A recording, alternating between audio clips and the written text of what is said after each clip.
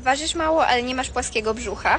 Już ci mówię, dlaczego tak jest. Chyba odkryłam problem większości nastolatków. Jeśli masz 1,60 m i ważysz 41 kg, to to jest zdecydowanie za mało i naprawdę nie ma już tutaj z czego chudnąć.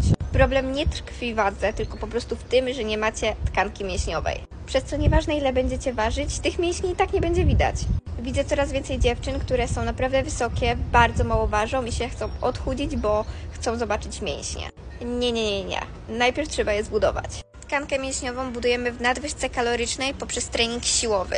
Jeśli chcecie więcej porad na temat tego, jak zdobyć płaski brzuch, zarysowane mięśnie, to zdecydowanie zaobserwujcie mnie po więcej.